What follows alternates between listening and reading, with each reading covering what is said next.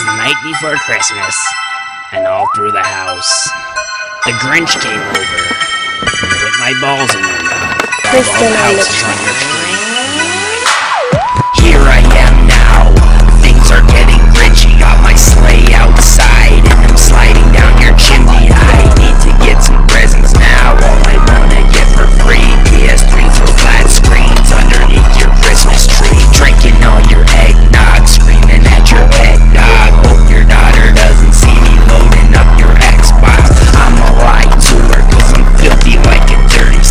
tell her that I'm going back to fix it at my workshop. She'll